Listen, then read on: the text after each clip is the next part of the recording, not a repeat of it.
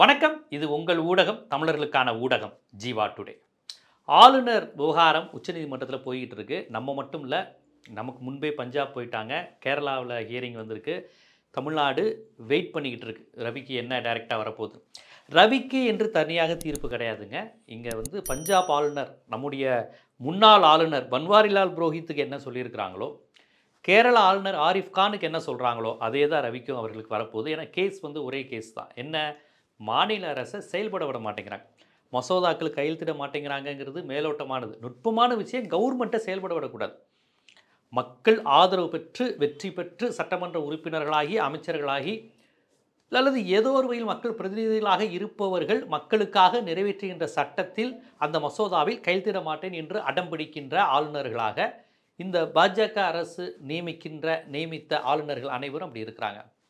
அதுவும் குறிப்பாக பாரதிய ஜனதா கட்சி எங்கெல்லாம் வெற்றி பெறுவதற்கு துளியும் வாய்ப்பில்லையோ அந்த மாநிலங்களில் அவங்க வந்து ரவுண்டு கட்டிட்டு வேலை பார்க்குறாங்க. நீ எதையும் செயல்பட விடாத. அங்கே அவங்கள இயங்கவே விடாத. ஒரு பெரிய ஹெட்டேக்காக இரு. அவங்கள போட்டு தலைவலியாக இருங்கிற மாதிரி அவங்க செயல்படுறாங்கங்கிறது யாரும் அப்படி பூத கண்ணாடியை வச்சு தேடி பார்க்க வேண்டிய அவசியம் இல்லை. அந்த அளவுக்கு டார்ச்சர் வந்து இந்த ஆளுநருங்கிற கான்செப்ட் வந்து கொடுத்துக்கிட்டு இருக்கிறாங்க. இப்போ உச்சநீதிமன்றத்தில் சந்திரசூட் அவர்கள் மாநில சுயாட்சியை மதிக்கக்கூடிய இந்திய அரசியலமைப்பு சட்டத்தையும் கூட்டாட்சி தத்துவத்தையும் மதிக்கக்கூடிய அதை செயல்படுத்த வேண்டும் என்று நினைக்கின்ற ஒரு சட்ட நிபுணராக இருக்கின்ற காரணத்தினால் பல்வேறு விஷயங்களில் சட்டத்தின் துணை கொண்டு இந்திய ஒருமைப்பாடு நிலைக்க வேண்டும்ங்கிற எண்ணத்துடன் பல்வேறு அறிவுரைகளையும் தீர்ப்புகளையும் பரிந்துரைகளையும் பல நேரங்களில் கொட்டுகளையும் வைத்து கொண்டு இருக்கிறார் என்பதை பார்த்து வருகிறோம். அந்த விதத்தில் பஞ்சாப் வழக்கில் அவர் ஒரு விஷயத்தை அவர் சொன்னார் ரொம்ப அழகாக சொன்னார். அவங்க அவங்களுடைய அமைச்சரவை அந்த சட்டமன்றம் கூடி விவாதித்து அவர்கள் யார்? மக்களுக்கான பிரதிநிதிகள். அவர்கள் கூடி விவாதித்து இந்த மாநிலத்திற்கு இது தேவை அப்படின்னு ஒரு மசோதாவை கொண்டு வந்து அனுப்புகிறாங்கன்னா அதில் கையெழுத்து இடாமல் ஏன் இருக்கிறீங்க? அவர்களை விட நீங்கள் அதிகாரம் படைத்தவர்கள் அல்ல அப்படின்னு ஒரு மிகப்பெரிய சம்மட்டி அடியை பஞ்சாப் வழக்கிலே சொல்லிட்டாங்க.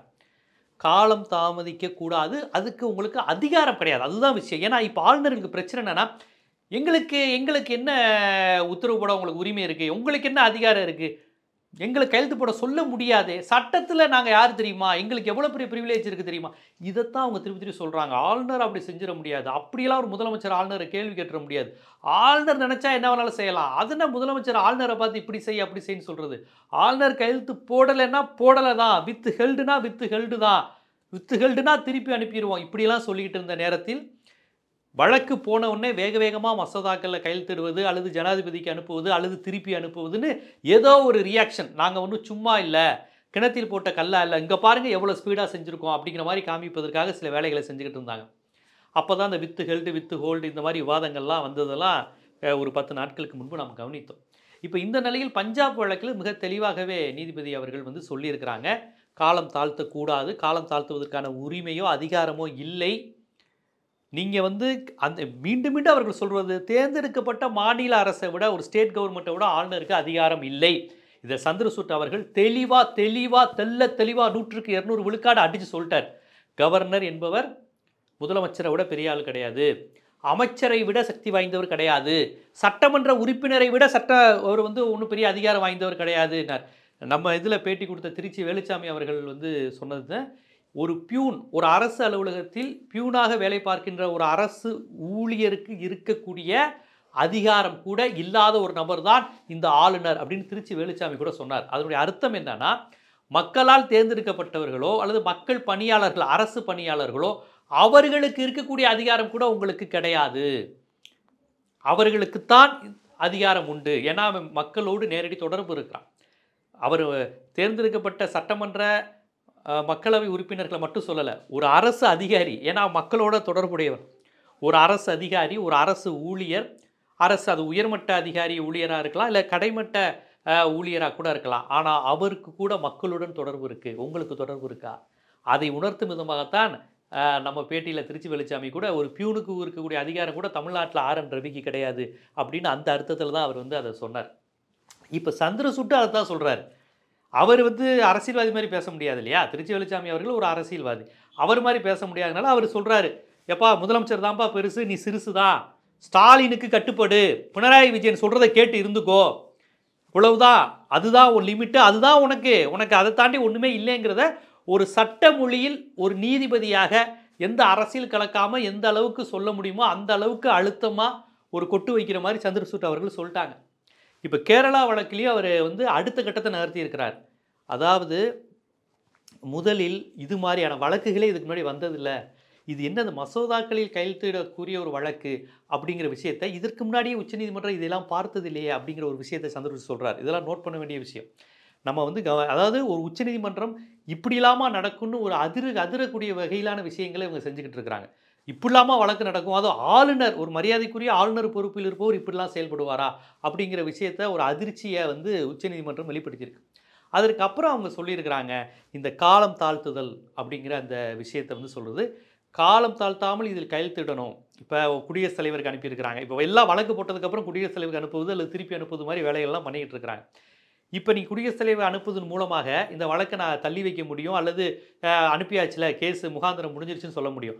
ஆனால் அதோடு நிறுத்தாமல் அவர்கள் ஒரு விஷயம் சொல்லியிருக்கிறார்கள். அது என்னன்னு கேட்டிங்கன்னா இனிமேல் காலம் தாழ்த்தாமல் நீங்கள் செய்வதற்கான டைம் லைனை நாங்கள் வகுக்கவா? ஒரு வழிமுறைகளை நெறிமுறைகளை வகுக்கவா?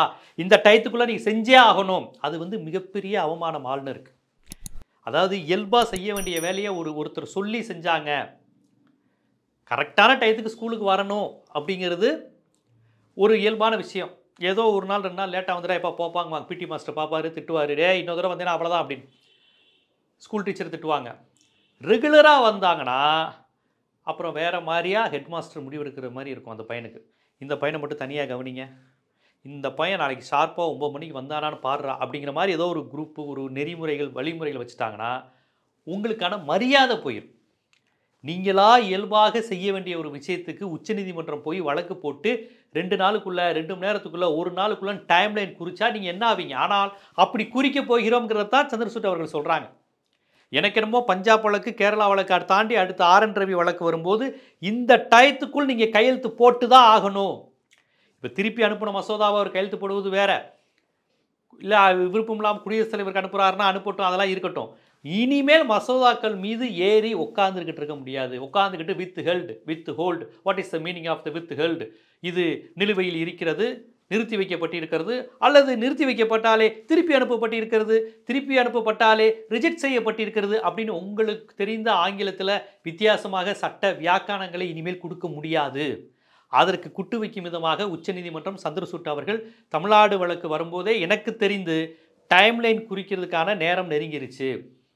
அதை தயவு செய்து அவர்கள் செய்தார்கள் என்றால்தான் இந்த பஞ்சாப் ஆளுநரோ கேரளா ஆளுநரோ தமிழ்நாட்டு ஆளுநருக்கோ ஒரு முடிவு வரும். ஏன்னா சட்ட ரீதியாக உங்களுக்கு ஒரு விதியை வகுக்க வேண்டிய நிலைக்கு நீங்களே கொண்டு வந்துட்டீங்க. அதான் உச்சநீதிமன்றம் சொல்கிற இதுக்கு முன்னாடி இப்படிலாம் வந்தது இல்லையே ஒரு கவர்னர் கையெழுத்து போடலாம் வந்தது இல்லையே அப்படிங்கிற விஷயத்தையே அவங்க ஆச்சரியப்படுறாங்க இரண்டு ஆண்டுகளாக அவங்க ஒரு மசோதாவை நிலவில் வச்சுருப்பீங்க. கேட்டிருக்காங்க. ஆளுநர் என்னதான் வேலை பண்ணுறாரு உச்சநீதிமன்றம் கேட்டிருக்கு. ஒரு ஆளுநரை பார்த்து அதாவது மேதகு மரியாதைக்குரிய ஒரு பொறுப்பு ஒரு கான்ஸ்டியூஷன் ஹெட்டாக இருக்கக்கூடிய ஒரு ஆளுநர் என்பவரை பார்த்து உச்சநீதிமன்றம் என்ன வேலை செய்கிறீங்க இத்தனை வருஷமாக என்ன பண்ணீங்க? ஏங்க இதுக்கெல்லாமா வழக்கு போட்டு செய்ய வைப்பீங்க? இப்படின்னு கேட்பதே வந்து ஒரு பெரிய அவமானம். அந்த பதவிக்கு அவமானம். ஏன்னால் அந்த பொறுப்புக்கு மரியாதை கொடுத்து தான் முதலமைச்சர் ஸ்டாலின் அவர்கள் இப்போ வரையும் சட்ட ரீதியாக என்ன செய்யணுமோ அதை எதிர்த்து கொண்டு இருக்கிறார் அவருக்கு செய்ய வேண்டிய மரியாதையை இப்பயும் கொடுத்துக்கிட்டு இருக்கிறாங்க. எல்லாரும் கேட்குறாங்க பில்லை கட் பண்ணி விடுங்க விரட்டி விடுங்க மரியாதை கொடுக்காதீங்க ஆளுநர் உரையை கொ- நிறைவேற்றாதீங்க ஆளுநரை அழைக்காதீங்க தெலுங்கானாவில் பாருங்கள் இப்படிலாம் சொல்கிறாங்க ஆனால் முதலமைச்சர் அவர்கள் இன்னும் அந்த பொறுப்புக்கான மரியாதையை தந்துக்கிட்டு இருக்கிறாங்க. ஆனால் சட்ட ரீதியாகவே அதற்கான மரியாதையை அந்த விஷயத்தை நீங்கள் இழக்கப் போகிறீர்கள் என்பதுதான் நடந்துக்கிட்டு இருக்கு ஏனென்றால் இனிமே நீங்கள் மசோதாவில் கையெழுத்து போட்டு தான் ஆகணும். அப்படி இந்த டேட்டுக்குள்ளே போட்டு போடுறியா இல்லையா? போட்டு தான் ஆகணும் அப்படிங்கிற நிலைக்கு நீங்களே கொண்டு வந்து விட்டுட்டீங்க. இது மாநில சுயாட்சிக்கும் மாநில உரிமைகளுக்கும் கிடைத்த வெற்றி. ஆனால் உங்களுடைய ஆளுநர் பொறுப்பு இதுவரை நீங்கள் காட்டி வந்த எல்லாவற்றுக்கும் அது ஒரு பின்னடைவாகத்தான் வரப்போகிறது. அது ஒரு வகையில் மாநில சுயாட்சிக்கும் கூட்டாட்சி தத்துவத்துக்கும் நல்ல விஷயமாக வரப்போகுது. ஆகவே உச்சநீதிமன்றம் தொடர்ச்சியாக இது போன்ற அறிவுறுத்தல்களை செய்து கொண்டிருப்பதோடு மட்டுமில்லாமல் ஒரு டைம்லைனை குதித்து எந்த ஆளுநராக இருந்தாலும் எந்த மாநிலமாக இருந்தாலும் மசோதாவை அனுப்பினால் இரண்டு நாளுக்குள் ஒரு நாளுக்குள் தங்களுடைய கருத்தை சொல்லிடணும் மசோதாவில் கையெழுத்து போட்டுறணும் அது குறித்து முடிவு என்ன என்பதை சொல்லிவிட வேண்டும் என்று உச்சநீதிமன்றம் டைம்லைன் குறிக்க தான் போகுது. அந்த டைம்லைன் வந்ததுக்கப்புறம் தான் நீங்கள் வந்து என்ன ப படு பாடுபட போகிறீங்க ஏன்னா உங்களுக்கான அசைன்மெண்ட்டை வந்து டிஸ்டர்ப் பண்ணுறது அதுலேயே சட்ட ரீதியாக கை வைக்கும்போது நீங்கள் என்ன பண்ண போகிறீங்கன்னு தெரியல. ஏன்னா இப்போ மத்திய இணையமைச்சர் எல்முருகன் அவர்கள் சமீபத்தில் ஒரு பேட்டியில் தமிழ்நாடு செய்யும் தவறுகளே ஆளுநர் சுட்டி காட்டுகிறாராம். நான் என்ன சொல்கிறேன் உச்சநீதிமன்றத்தில் இன்று ஆளுநர் தரப்பில் வாதிட்ட வழக்கறிஞர் இதே கருத்தை சொல்ல வேண்டியதானே? சொல்ல வேண்டியதானே இப்போ இந்த மசோதாக்களில் இந்த கோப்புகளில் என்னென்ன பிரச்சனை இருக்குது இவங்க இவ்வளோ தப்பு செஞ்சுருக்கிறாங்க. அதனால் இதை நான் புறக்கணிக்கிறேன். அதனால் இதை நிறுத்தி வைத்திருக்கிறேன். நான் கையெழுத்திட மாட்டேன். முதல்ல அப்படி ஒரு கருத்து இருந்தால் அதை உடனே சொல்லணும். அதுக்கு எது ரெண்டு வருஷம் தெரில சரி ரெண்டு வருஷம் நீங்கள் இந்த காரணத்தினால் நிறுத்தி வைத்தீர்கள் என்றால் அது இவ்வளோ காலம் சொல்லாமலும் இருந்திருக்கீங்க. நான் என்ன கேட்குறேன்? இதை சொல்ல வேண்டியதானே இது அந்த நீதிமன்றத்தில் சொல்ல வேண்டியதானேங்க அது தப்புங்க. அவங்க செய்கிற தப்பை சுட்டி காட்ட தான் இருக்கேன்னு. ஏன்னா மாநில அரசு எந்த தவறும் செய்யலை அதை நீங்கள் சுட்டி காட்ட வேண்டிய அவசியமும் இல்லை. உங்களுடைய நோக்கம் தொந்தரவு செய்யணுங்கிறதா? டிஸ்டர்ப் செய்யணுங்கிறதா? இன்றைக்கி பேட்டியில் வந்து மாநில அரசின் தவறுகளை ஆளுநர் சுட்டி காட்டுகிறாருன்னா சரி சுட்டி காட்டுவதற்கு மசோதாவை நிறுத்தி வைப்பாரா? ஏதாவது புரியுதா? மசோதாவை நிறுத்தி வைப்பதற்கும் மசோதாவை நிறுத்தி வைப்பது என்பது மக்கள் நல பணிகளை நிறுத்தி வைக்கிறீங்க. மக்களுக்கு செய்து சேர வேண்டிய திட்டங்களை நிறுத்தி வைக்கிறீங்க. மக்களுக்கு ஒரு அரசு செய்ய வேண்டிய ஆற்ற வேண்டிய கடமையை நீங்கள் தடுத்து வைக்கிறீங்க. இவ்வளோ விஷயத்தை நீங்கள் செஞ்சுட்டு நாங்கள் தமிழ்நாடு அரசின் தவறுகளை சுட்டி காட்டுறோம் இதில் என்ன தவறு சுட்டி காட்டுறீங்க தவறை சுட்டி காட்டுறதா சுட்டி காட்ட வேண்டியதானே உங்களை யார் சுட்டி காட்ட வேணாம்னு சொல்ல சொன்னால் அப்போ இதுதான் உண்மை என்றால் உச்சநீதிமன்றத்தில் அது ஆளுநர் சொல்லியிருக்கணுமா இல்லையா? நாங்கள் தவறை சுட்டி காட்டுகிறோம் இன்ன தவறு இருக்குது இது தேச ஒருமைப்பாட்டுக்கு எதிராக இருக்குது இது மாநில உரிமை அப்படின்னு என்ன இருக்கோ சொல்ல வேண்டியதானே அப்போ எதுவுமே உங்கள் பக்கம் உண்மை இல்லை நேர்மை இல்லை. மாநில உரிமைகளை பறிக்கணும் மாநிலங்களே இல்லாத ஒரு நாட்டை உருவாக்கணுங்கிற உங்களுடைய அஜெண்டாவுக்காக ஆளுநர்கள் இப்படி வரம்பு மீறி மக்களுக்கு எதிராக செயல்பட்டு கொண்டிருக்கிறார்கள். இவர்கள் முதலமைச்சருக்கோ திமுகவுக்கோ எதிராக இல்லை ஒட்டுமொத்த மக்களுக்கு எதிராக இருக்கிறார்கள் என்பதை தான் கேரளாவும் காமிக்குது பஞ்சாபும் காமிக்குது தமிழ்நாடும் காமிக்குது. எனக்கென்னமோ இதுக்கெல்லாம் ஒரு முற்றுப்புள்ளி வைக்கும் விதமாக டைம்லைன் வரப்போகுது. அது ஒரு வரலாற்று முக்கியத்துவம் வாய்ந்த விஷயமா இருக்கக்கூடாது ஏன்னா ரொம்ப சிறப்புமிக்க விஷயமா பார்க்குறேன். அதனுடைய தொடர்ச்சியாக அடுத்த ஆளுநர் அதிகாரம் ஆளுநர் என்ற ஒருவர் தேவையா? ஆளுநர் எதனால் உருவானது காலனி சட்டத்தில்? இப்போது அது தேவையா? சுதந்திர ஜனநாயக நாட்டில் தேவையாங்கிற ஒரு பெரிய விவாதத்தை கிளப்பி இனிமேல் ஆளுநருங்கிற அமைப்பே நமக்கு வேண்டாம் அப்படின்னு ஒவ்வொரு மாநில உணர்வு கொண்ட மாநில கட்சிகளும் மாநில உணர்வுகளை மதிக்கின்ற தேசிய கட்சிகளும் அப்படி ஒரு நிலைக்கு வருவார்கள் அப்படிங்கிற ஒரு நம்பிக்கையை தருது. அதற்கு ஒரு தொடக்கமாக இதுக்கு ரூல்ஸ் நெறிமுறைகளை விதித்து ரவி உட்பட எல்லாருக்கும் டைம்லைன் குறிக்கணும். இந்த டயத்துக்குள்ளே நீங்கள் முடிக்கணுங்கிற விஷயம் நடக்கும்னு நம்புவோம். இந்த மாதிரியான விஷயங்களை செய்ய வேண்டியது மக்கள் நம்மை போன்ற ஊடகங்கள் சமூக ஆர்வலர்கள் அரசியல்வாதிகள் எல்லோருக்கும் இதில் பங்கு உண்டு. ஏன்னா இதில் கட்சி நலன்கிறது கிடையாது. நாம் எல்லாருடைய ஜனநாயக மனித உரிமைகள் மாநில உரிமைகள் அடங்கி இருக்கிறது. ஆகவே ரவிக்கு ரவி உட்பட எல்லாருக்கும் டைம்லைன் குறிச்சாச்சு குறிக்கணும். அதை நோக்கி நம்ம நகரணுங்கிறதுல நம்ம எல்லாருமே ஒரு உறுதியாக இருப்போம். அதுதான் ஜனநாயகத்தை காப்பாற்றுகின்ற ஒரே வழி. இது போன்ற அரசியல் சமூகம் பொருளாதாரம் சட்டம் போன்ற பல்வேறு விழிப்புணர்வு காணொளிகள் உங்களை வந்து சேருவதற்கு ஜீவா டுடே சேனலை சப்ஸ்கிரைப் பண்ணுங்கள் ஆதரவு தாங்க. நன்றி.